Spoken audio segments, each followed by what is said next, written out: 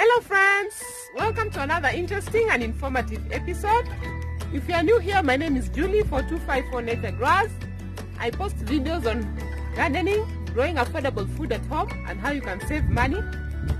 Stay tuned because in this episode we want to grow some Chinese cabbage. I've got a lot of tips to share.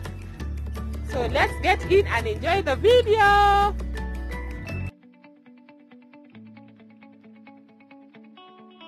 Oh.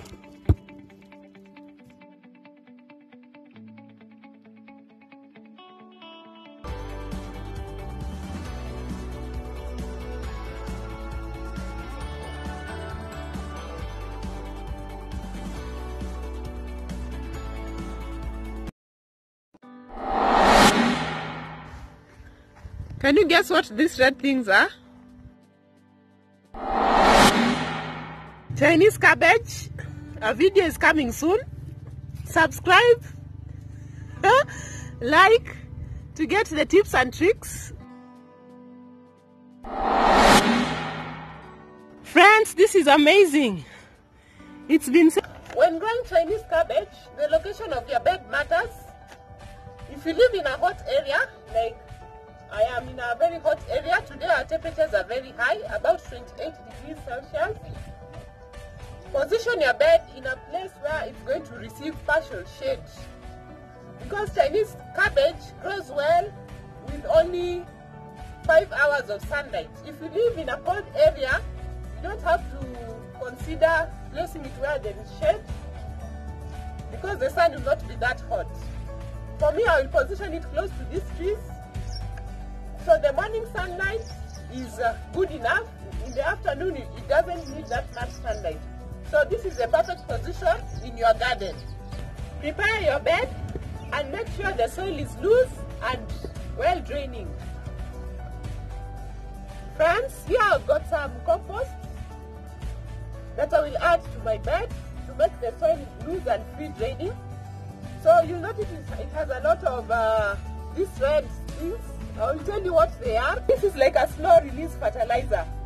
You don't have to use a lot of chemical fertilizers. Friends, another resource you can use at home that is free to provide nutrients to your plants is uh, wood ash. I like using a a little of wood ash in my beds as a source of potassium. Also, it helps to amend the pH of your soil if it is too low. Chinese cabbage grows well at a pH of about 6 to 7. So wood ash will raise the pH and it will also provide some nutrients to your plant. So your compost and your ash, you are set to go. Spread the ash on your bed and you're just going to mix it in. Don't use too much.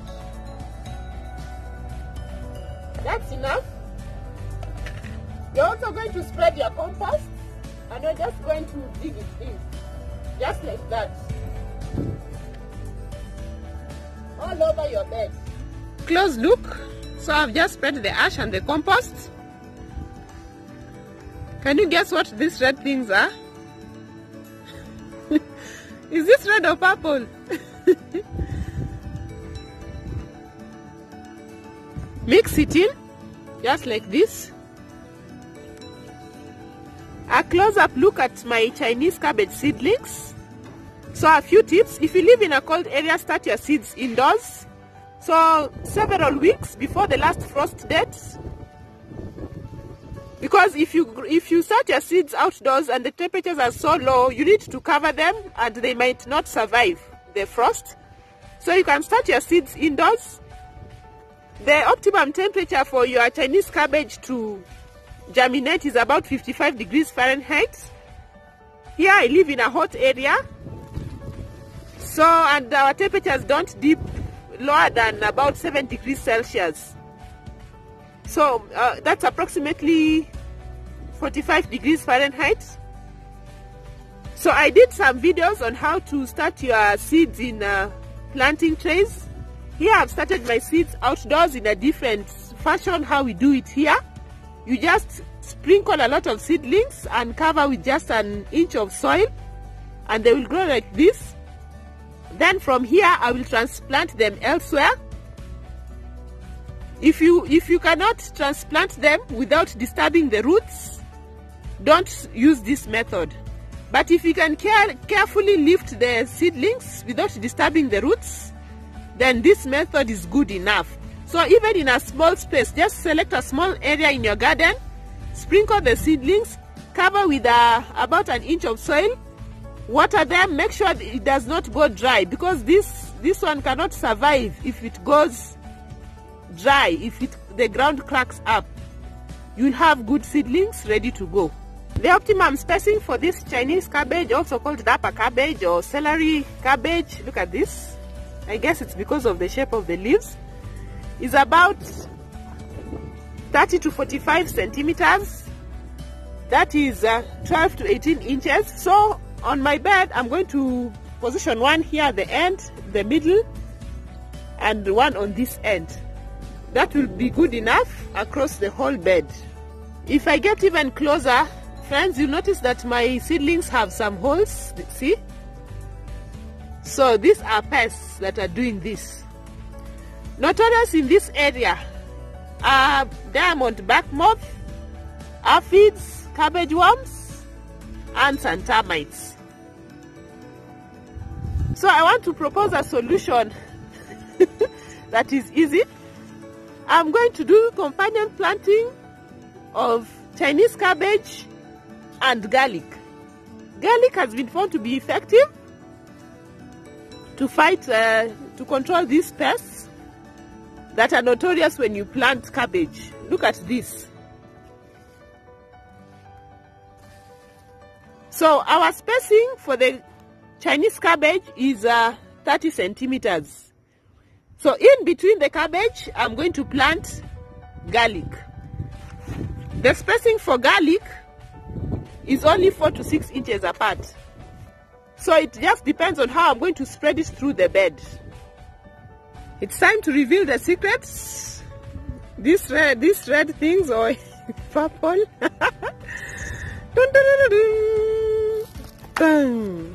so these are onion skins. You see? After harvesting the onions, I've been drying the onions and collecting a lot of onion skins. So onions and garlic are in the same family, allium family.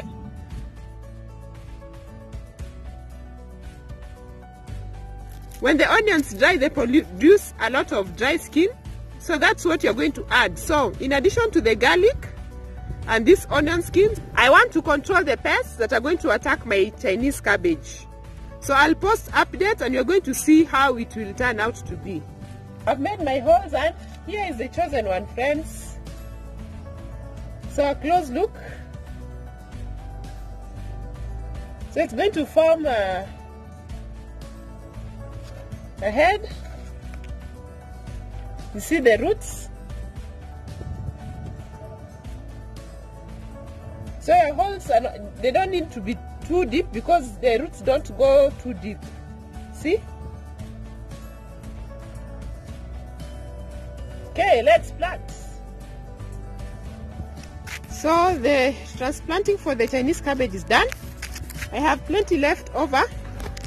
But these ones I will not spoil them. I'll distribute them elsewhere. And what is and I'll also give um, some to my neighbor who has requested some seedlings. So the next thing is to plant our garlic. These are zero cost garlic seeds. Watch my videos on zero cost seeds. So just from the kitchen I took some garlic. This is the soft neck variety. And I'm going to distribute them. So you should, when you're doing companion planting at home, you're just growing your own food. You don't have to worry so much about the size. But I got a good enough size for for companion planting here. The bigger the cloves, the bigger the bulb you'll get. So this I'm just going to position. Remember I told you the spacing. So I'm just going to position it in the middle here. This part goes down, this side faces up and do not remove the skin. As it is, once you separate it, you just plant it like this. So I'm going to just, and it's not even too deep, I'm just going to use my finger like this. The spacing for garlic is uh, 4 inches apart and just 1 to 2 inches deep. So, let me start from this point. Just your finger is good enough, like this, and you cover it. 4, 4 inches is about 10 centimeters. So you just look, you just measure 10 centimeters just with your hand, it's good enough. And you plant the next one. Using your finger, you just push it down because the soil is loose and you cover it like that. That's done, friends. I have five cloves like this. So just between the spaces here.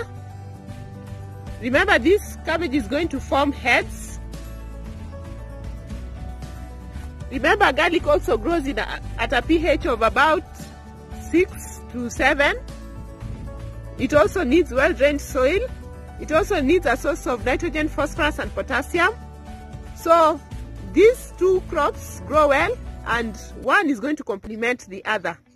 So just cover lightly and the last step is to water and keep your bed moist. Friends, that's all for this video. Until next time, friends, let's create our food and garden heaven. Thank you, friends. Friends, this is amazing. It's been seven days and look. look at this. Wow. Look at the garlic. See? Wow, wow, wow. I'll keep on posting update, friends. I hope it works. Give this a thumbs up if you've learned some useful tips for your garden.